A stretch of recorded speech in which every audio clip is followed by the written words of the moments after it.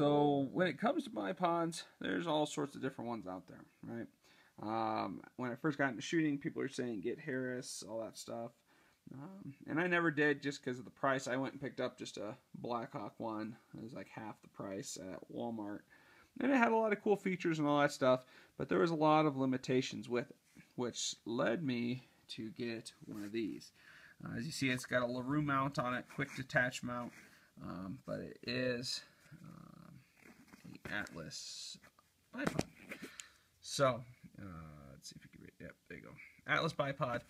It is rock solid.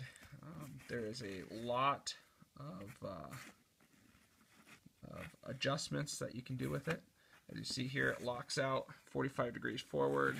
Uh, let's get this one to go. Locks out 45 degrees forward, so you can rest forward. You can do 90 degrees. It's hard to do one-handed. Apologize for that. Just push that button it goes into place, locks in. Now you're at 90, like typical bipods. Then you can do 45 degrees to the back and then 180 from forward or back mount. Um, you can do all that with them.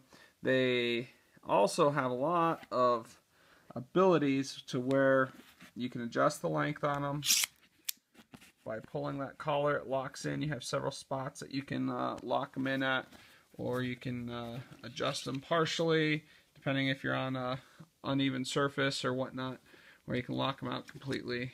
Um, but rock solid. Um, they are a little bit pricey, but well worth the money, I believe. They um, they give you a lot of capabilities. This one, obviously, it has the LaRue quick detach mount. Um, they're on a little rail section attached to your uh, front sling posts.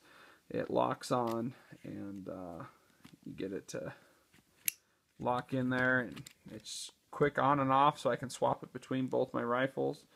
Just throw a rail section on both rifles and uh, we're all set. Let me uh, let me lock it in real quick and uh, we'll be back. So there it is. It's mounted on. Um, it it's in the 45 degree forward fully extended and it holds itself up quite well and then when it's in the 90 degree spot and you push forward as if you're loading the bipod it has a little bit of play, and as soon as it tips past that point, it locks in, and then you can sit there all day with it loaded into your shoulder. It's not going anywhere. Um, it doesn't try and scoot forward or anything like that, like I was experiencing with the Harris style bipods. Uh, further, uh, you can take this, it's like 4.75 inches to 9 inches, fully extended 9 inches, 4.75 when it's closed down. But you can also get these, and they are add ons. Basically, you pop this pin here, that shoe comes off, this slides in, and um, you can put the rubber shoe back on down here, or these are my aggressive uh, ground spikes. They sell actual spikes, and then they have the like umbrella, um, kind of get into some dirt, ground, wood type stuff. Um, and they have a ball joint on them, so depending on what kind of terrain you're on, they lock in. Really high quality stuff here. Um, super lightweight, and but it's all aluminum construction. Um, it's a very nice, very nice setup. So uh, we'll get some shooting vids, see how it is uh, after doing some shooting and all that stuff. Um, it should be pretty fun. Uh, down here, you loosen this, um, and it gives you a pan.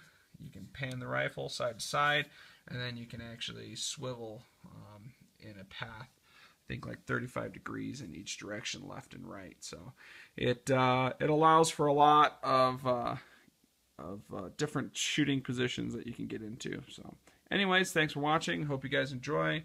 Uh, more videos to come.